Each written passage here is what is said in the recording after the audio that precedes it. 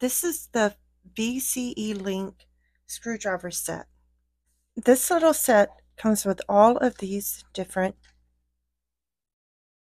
tips right here. I don't know if you can see them, but they are very tiny. And for me, for crafting, all I need is one of these little tiny screwdrivers or for fixing my glasses. And they come in all these different um, different styles and I don't really know much about screwdrivers, so I'm not an expert and I'm not going to pretend like I am. But it's very cute. It's very compact. Oh, and the great thing about this screwdriver set, here, let me show you, is that this handle turns right here. So at first when I got it, I didn't really understand like, you know, what, what was the big concept of it.